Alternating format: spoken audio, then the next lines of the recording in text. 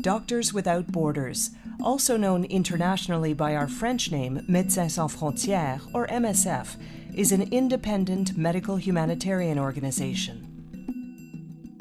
Founded in 1971, MSF won the Nobel Peace Prize in 1999.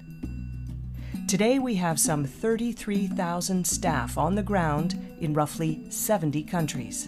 We work in communities affected by war, natural disasters, disease outbreaks, chronic neglect, and other crises. We treat people based on medical needs alone, regardless of race, religion, or political affiliation.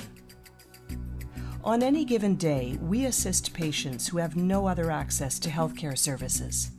Our medical teams can offer critical services such as surgery, maternal care, vaccinations, and mental health counseling.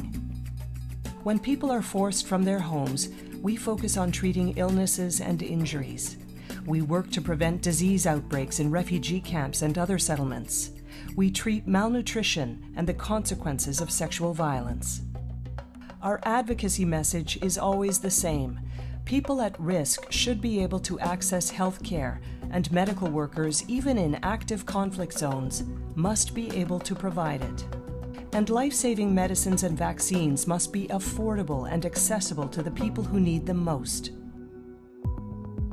The ongoing support of our donors, together with the profound commitment of our aid workers, will allow MSF to provide independent and impartial assistance to people in crises for a long time to come. We know that the future holds many challenges for people around the world, but we also know what's possible when we go where we're most needed with the materials we need to deliver life saving medical care.